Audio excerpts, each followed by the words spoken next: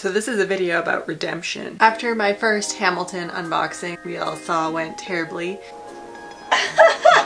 oh my god! Can you see what's happening here? All of this is like paint smear. He's hit the chopping block and he's getting new life. In the meantime, Breyer sent me a new one. So we're gonna see if it's any better. Basically what happened was my Hamilton arrived very flawed. I ended up sending Breyer a strongly worded letter saying how disappointed I was and I sent pictures of both my Hamilton and my Rhiannon Cadell set but I didn't do anything about them. I just customized them and called it a day.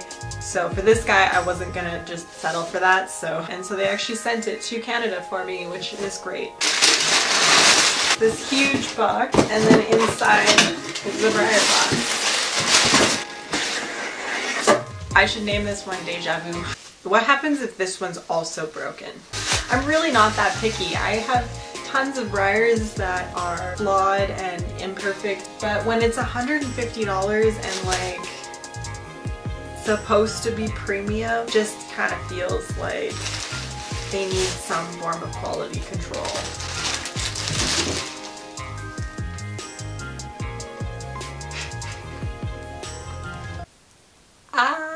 He's better, but he's not great. I mean, I don't really know what I'm looking for in these models, like how good they should be.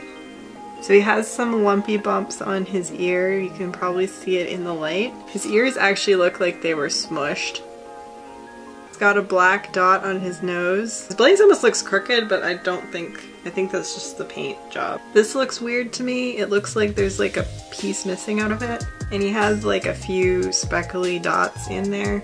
But like overall, really nice mapping on his body.